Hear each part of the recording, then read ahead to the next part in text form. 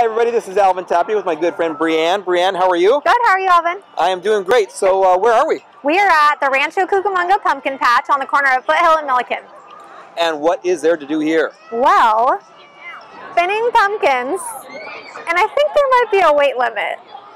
We have a swinging jack-o'-lantern, and no adults, sorry. And there's even a petting zoo.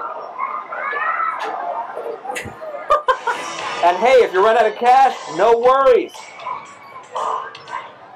And don't forget to pick your pumpkin. What the heck? And the best part about the whole pumpkin patch is the food. Caramel corn, Candy apples, funnel cake, mini donuts. it is the bomb. Hope to see you here.